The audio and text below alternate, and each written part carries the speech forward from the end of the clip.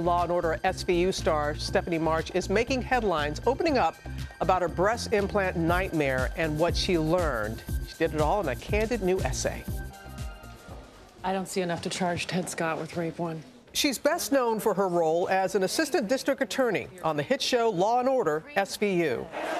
Now, actress Stephanie March is revealing a dangerous situation in her personal life, a severe complication she experienced after having breast implants. I think that she is in a place now where she's feeling healed uh, and she's feeling confident again and she's ready to share this story. In a candid essay for Refinery 29, March explains her decision to undergo the surgery during a painful time in her life, saying, My marriage of nearly 10 years was falling apart, and nothing, nothing was helping me cope.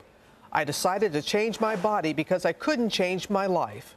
But after just two months, she says, my right implant was infected and the seams of the scar on my right breast had burst. This procedure that she thought was going to fix the problems in her life had only made everything more complicated. She realized it was time to just move on.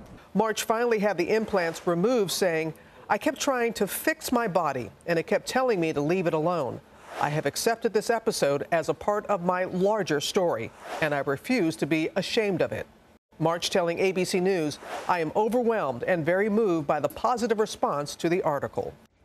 And joining us now, ABC's chief women's health correspondent, Dr. Jennifer Ashton. This is the most common form of cosmetic mm -hmm. surgery. What do people need to know?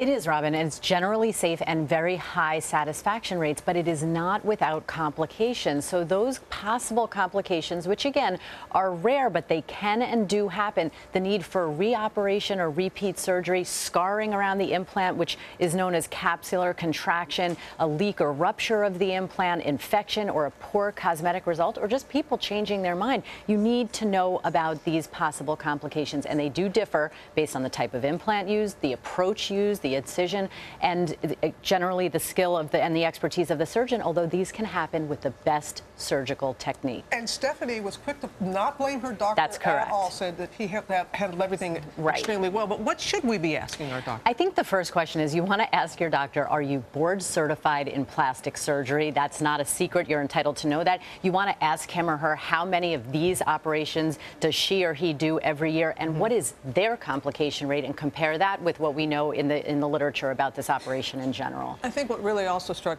people with the essays that Stephanie was very candid and very open in talking about how she wanted to things weren't going well in her life yep. and she thought this could change it. There is a psychological aspect when you approach this type of surgery. That is correct. And any reputable and skilled board certified plastic surgeon is trained to assess, whether formally or informally, the psychological state of the patient. If you think that having cosmetic surgery is going to change your life, mm. it's not. And there's no such thing as minor surgery. If you get a complication, it becomes major real fast. That's a headline. No such thing as minor surgery. That's right. All right.